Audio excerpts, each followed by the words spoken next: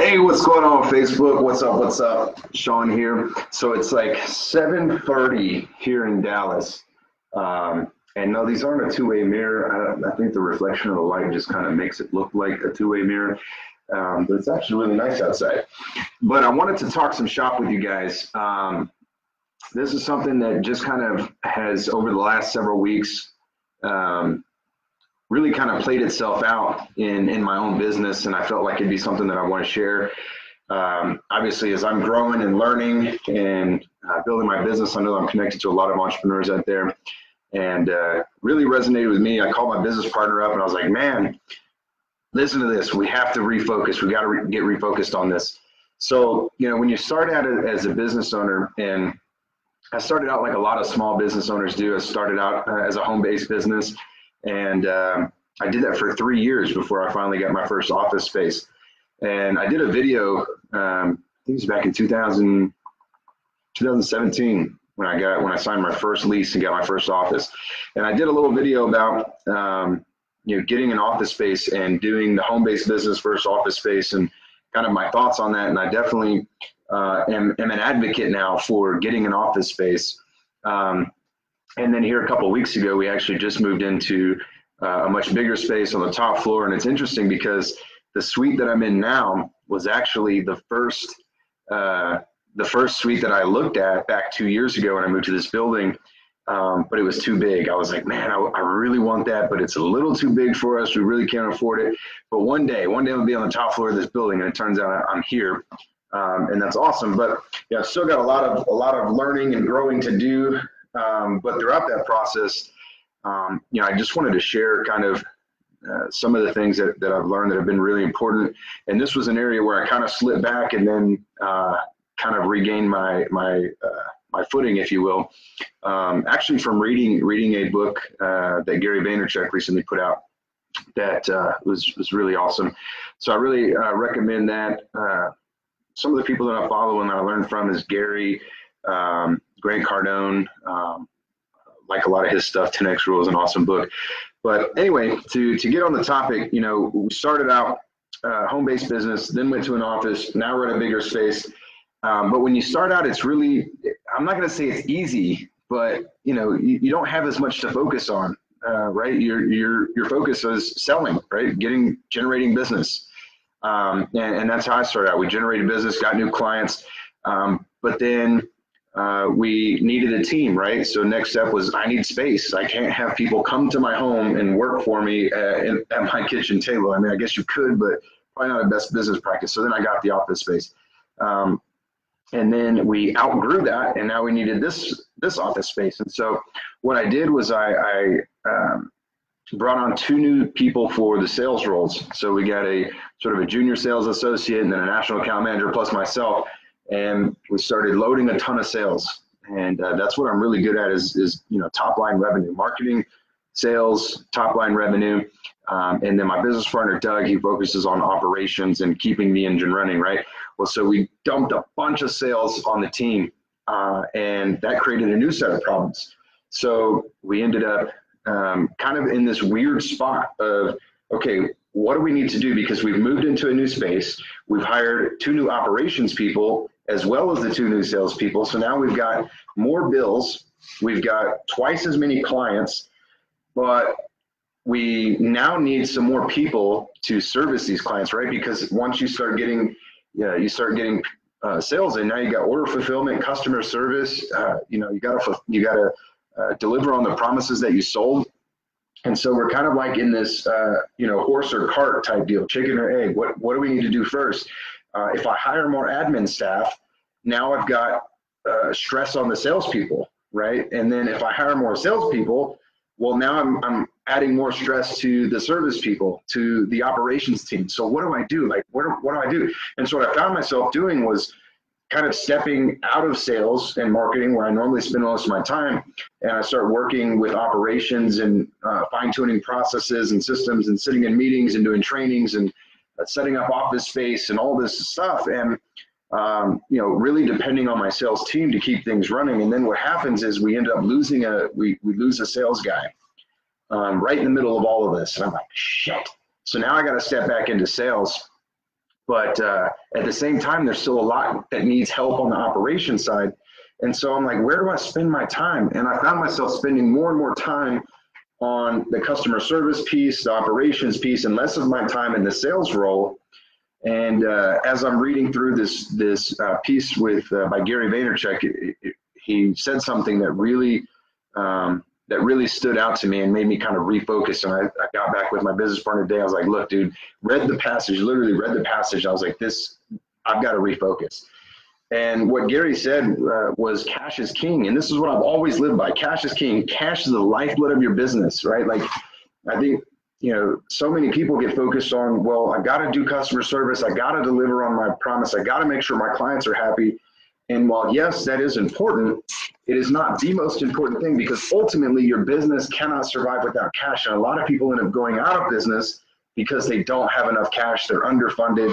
Um, they focus so much on customer service and on delivery of, of products that they forget about the top line revenue piece and the moment that gets out of whack, especially as a small business, you know, I'm, you know, I've only been here five years, six years.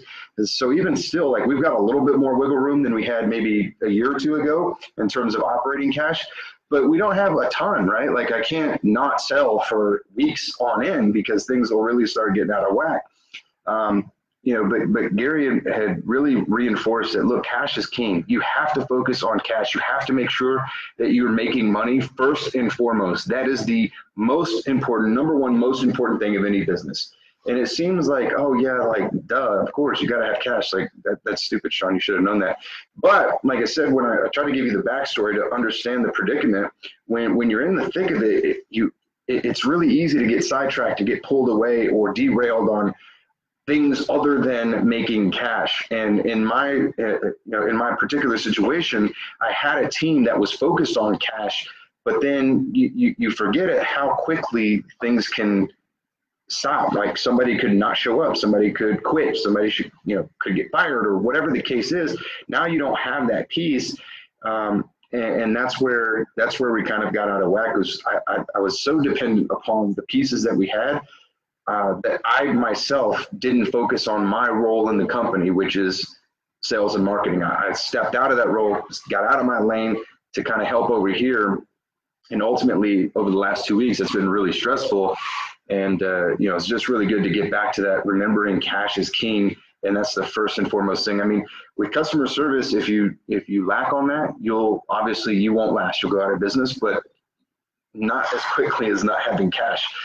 So then you got to figure, okay, once you have the cash thing solved, right? So once we get this thing back online, which I stepped back into sales, started making sales again, uh, keeping the uh, the revenue coming in. Then we figure out, okay, what do you focus on next? Well, play to your strengths, and I think this is another big area that resonated with me.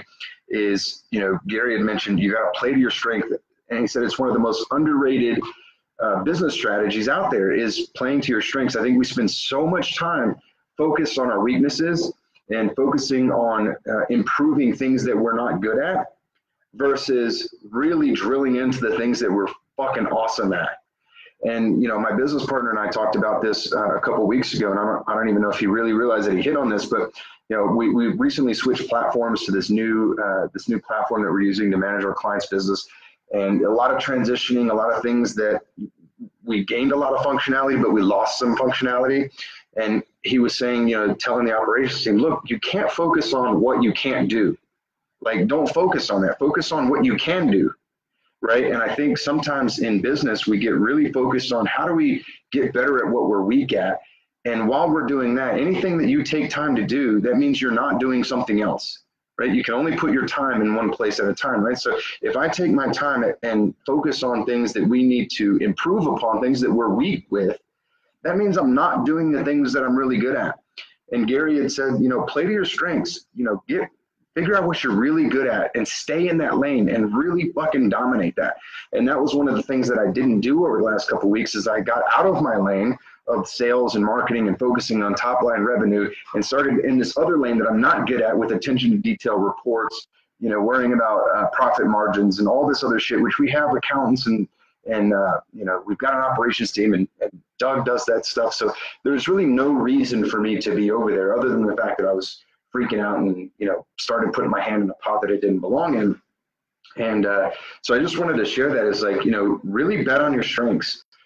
Figure out what you're good at. Stay really fucking good at that because, and focus on making cash. Because if you're making money, everything else will fall in place. And if it doesn't fall in place, then you can hire people to make those things work. I can hire people to focus on the things that I'm not good at and, and let that be their strength. So, you know, making top line cash, making money so that I now have the option to figure out, okay, what am I not so good at? Instead of taking my time to worry about that and fix that, I can hire somebody whose strength is reports, whose strength is operations, whose strength is product project management, order fulfillment, you know, campaign management, ad analyst, or whatever the case is, things that I'm not great at, I can hire those things out, but I can only do that if I'm focused on cash.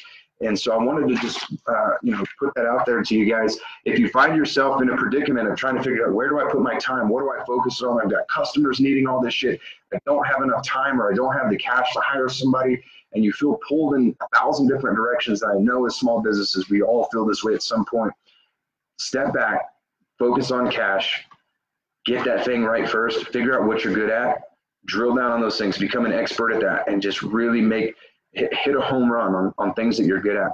Stop trying to take dollars every chance you get. A lot of times we'll overcommit ourselves to make a dollar and we'll uh, take an order or take a client in an area that we're not so good at. We might, if we're in real estate, we might take a client who's looking, you know, 40 miles west of us and we don't really know that market, but we really need the deal. So we're going to take it, which brings us out of our market and brings us away from clients that are right here in, in the, the area that we specialize in just for a quick buck. So be, uh, you know, look at the long term, big picture thinking, focus on cash, focus on what you're good at, take that cash to then supplement and hire other people and delegate to build a team around the things that you're weak with. And I promise you, you will make it a lot longer than if you try to do all things and try to be a control freak.